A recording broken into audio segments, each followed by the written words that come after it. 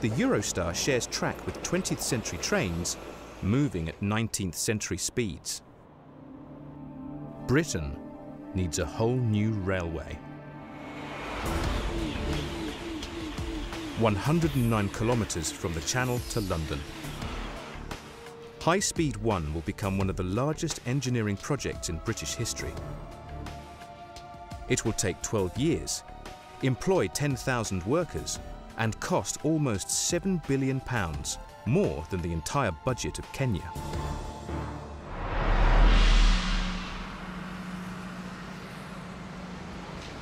The last time the British built a railway, Victoria was queen. And one of the route's biggest challenges is a Victorian relic. High Speed 1's London terminus. St Pancras Station is one of the most historic buildings in England. A palace of iron, brick and glass. When completed in 1868, this was the world's largest single-span roof. The acme of Victorian engineering. This building's absolutely magic for me. That the Victorians could achieve this without all the computer power we've got, could achieve spans that they have. The efficiency, actually, when we analysed it, this, structure achieved was quite fantastic. But after the Victorians, it went to pot.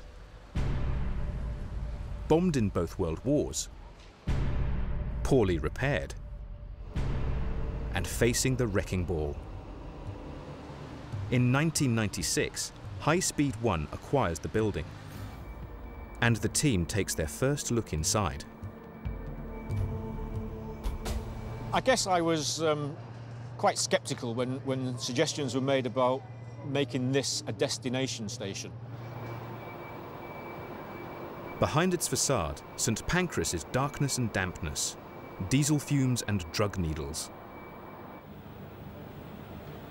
Every hour, fewer than half a dozen trains arrive. Planners envision more than 30 trains. And something else. They dream of St Pancras as the next London attraction. And I suppose the big question we had at the time was, can we possibly change this awful space from a liability into a fantastic asset?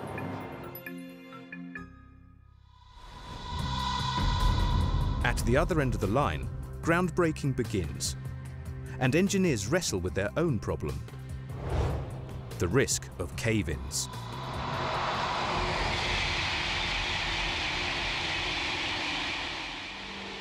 Mike Glover will work on High Speed 1 from beginning to end.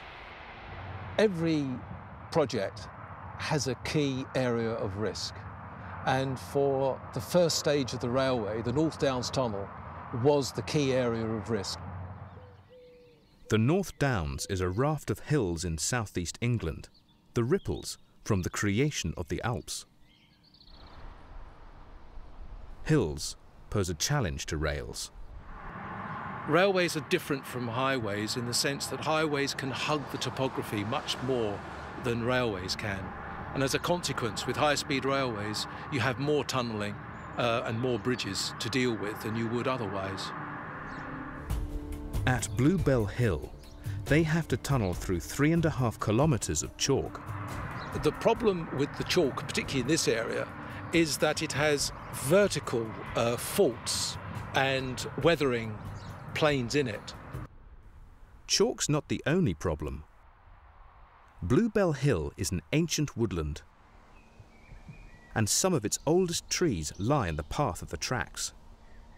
When you've got a hundred year old oak or beech tree, you don't just dig it up and move it. You can't. But what you can do is you can protect the most valuable part of uh, ancient woodland, which is its soil.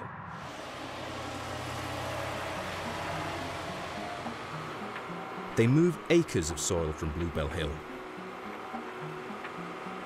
Into the soil, they'll transplant young trees using a special machine.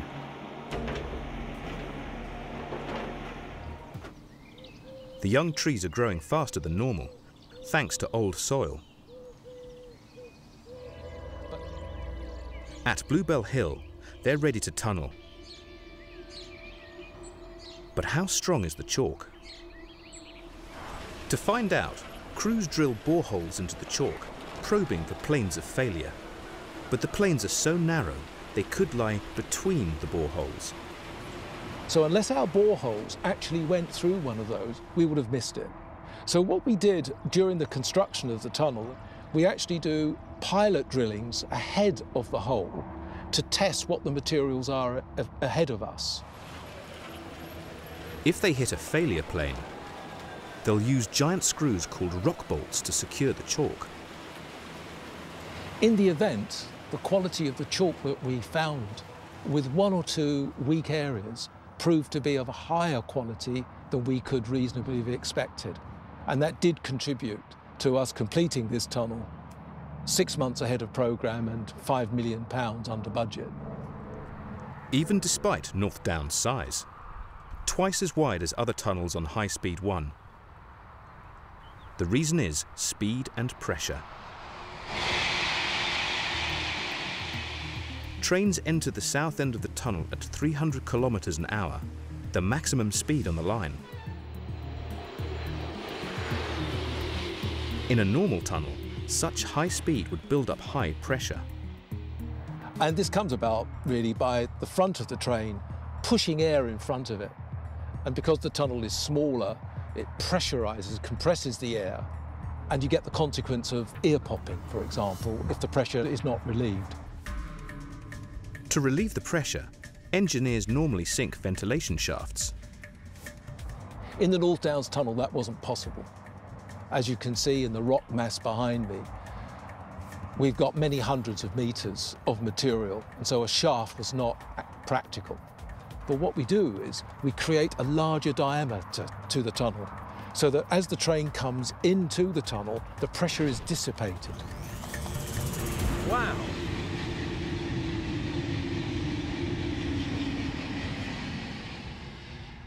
That's what 300 kilometers an hour looks like. Down the line, the railway of tomorrow yields a surprise from the past.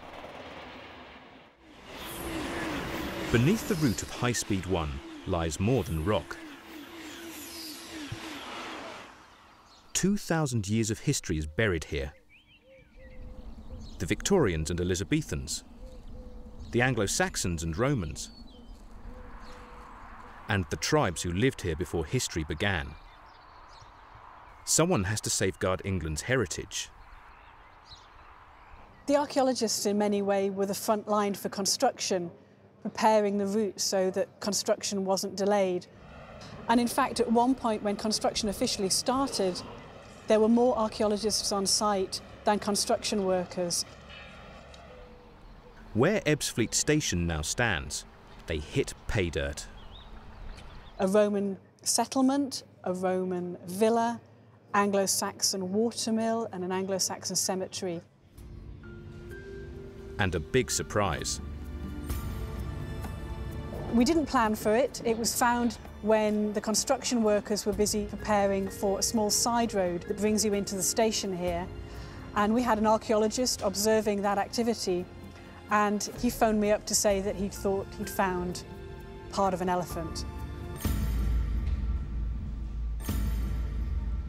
And as you can imagine, we were absolutely stunned because this is an internationally important discovery. A 400,000 year old elephant is rare, anywhere.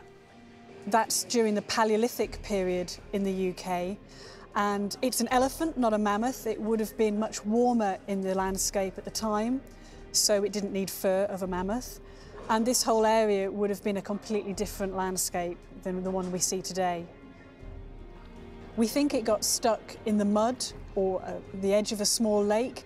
And what's particularly interesting is that we found pieces of worked flint, that's flint that has been made by humans, in and around the skeleton and also on the bank of the bog or the lake. And therefore we know that our ancestors were in and around the elephant. Whether or not the elephant had died and they were butchering it, we're really not very sure. But to have human interaction with this beast is just amazing. 13 kilometres away, crews inching towards Ebbsfleet hit a worst case scenario. A mega disaster. To build a bridge for the Eurostar across the River Medway will take the world's longest high-speed rail span, 1.3 kilometres long. So long, the builders have to weigh the worst that could happen. A fully loaded train travelling at full speed, hitting the brakes.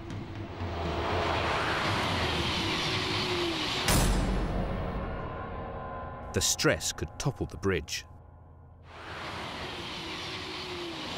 And to overcome that, the column supports that you see on the bridge have to be designed to take the horizontal forces from those braking down to the foundations without the column uh, undergoing any undue deformation.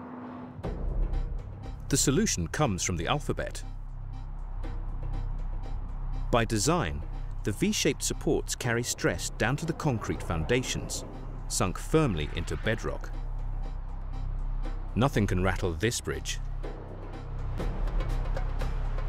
But as usual, solve one problem, another appears. To erect the bridge itself would take a forest of scaffolds.